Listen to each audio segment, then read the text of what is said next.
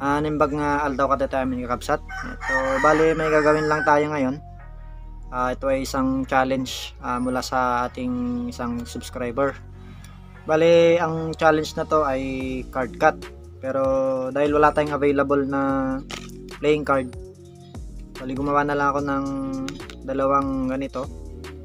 Ayan so same size sa uh, playing cards. Tapos uh, parehas ng kapal. Ayan So lalagay natin to sa distance na 50 meters at subukan natin kung makakailang shots tayo uh, bago natin mapatamaan tong dalawa. Pero bago natin gawin ang challenge na yan, uh, maki-shoutout muna tayo.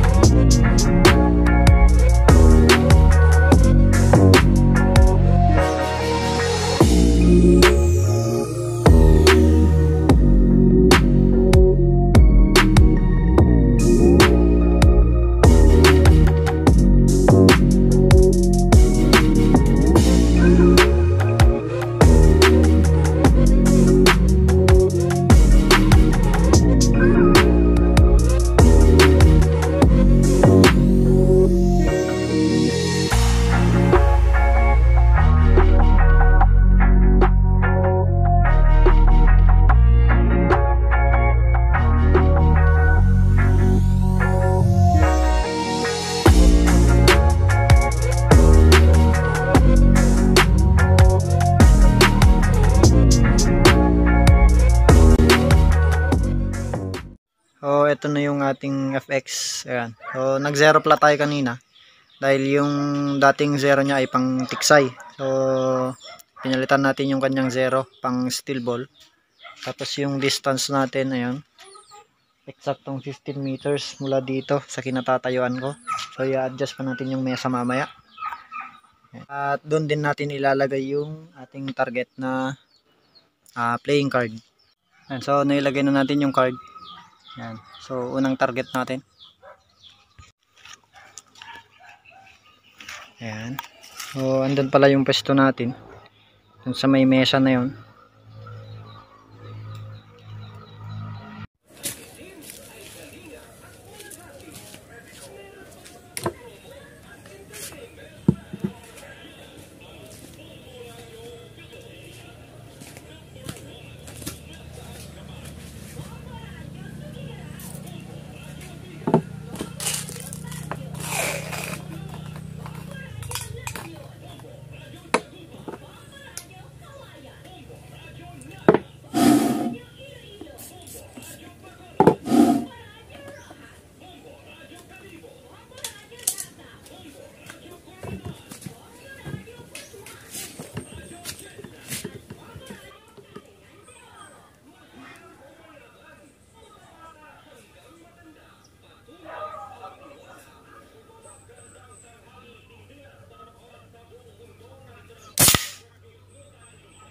First shot natin, wala. Hindi natin tinamaan.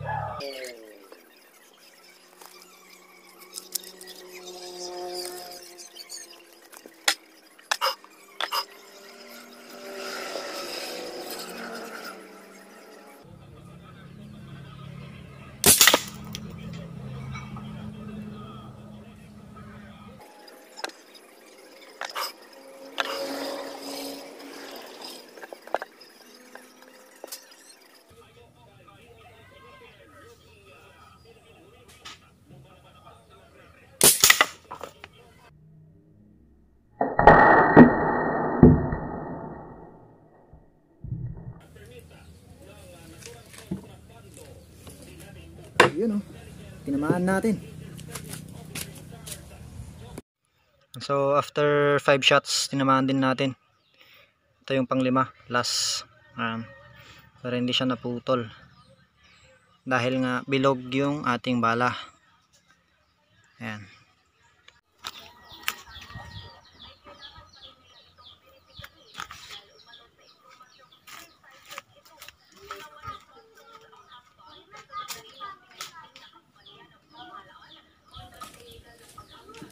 Ayan, so ito na yung second card natin. Ito yung una kanina.